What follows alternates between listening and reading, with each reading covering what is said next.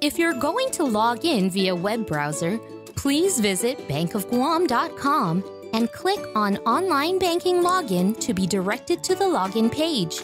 If you're using your mobile device like us, launch your Bank of Guam mobile app. From here, select Account Recovery, Forgot Login. Under the Unlock tab, fill out your personal information and select Continue. Select Reset Password and enter the login ID of the account that you wish to unlock. Confirm and select the correct contact that you wish to receive a secure access code to authenticate. Enter the secure access code provided and select Submit. Now, set your new password, ensuring you meet all the given password requirements, and select Submit. Fast, easy, simple.